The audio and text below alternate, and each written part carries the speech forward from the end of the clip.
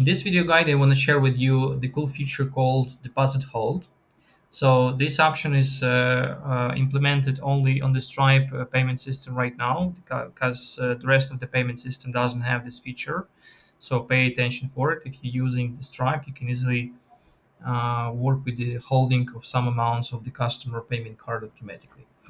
Uh, let me show you how it works. So basically, you will need to successfully integrate with the Stripe right? When you will do this, uh, you can go for the reservation and work with the deposit hold option.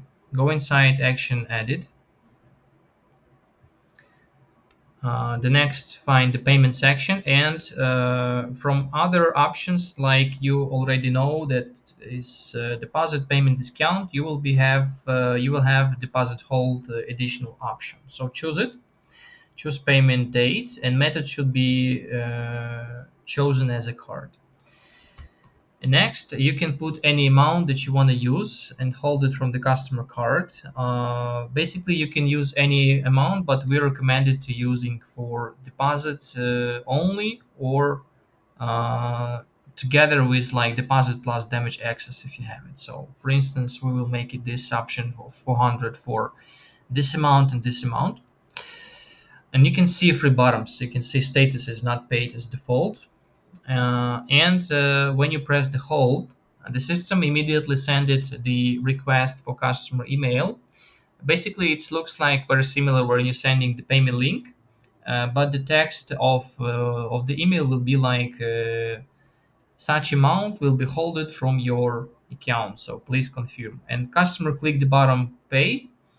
Uh, when he will pay it, it's not uh, going as a payment for your balance, it's holded. So it means that you will find the status is hold.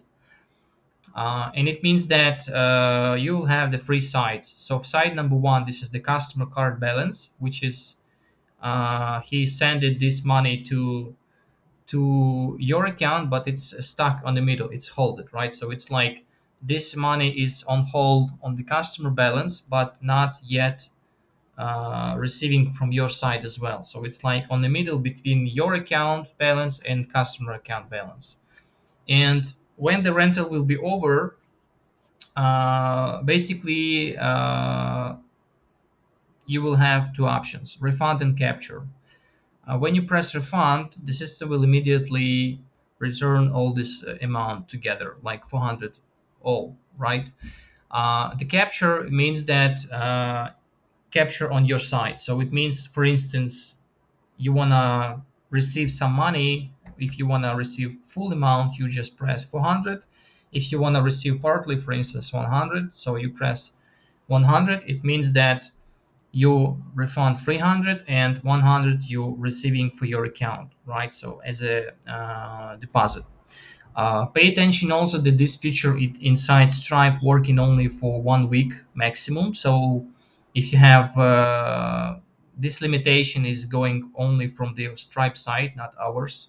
So uh, if you have, for instance, two weeks rental order, uh, the system or you will be needed to manually send it this uh, request every month, every week. Sorry. So pay attention also for it.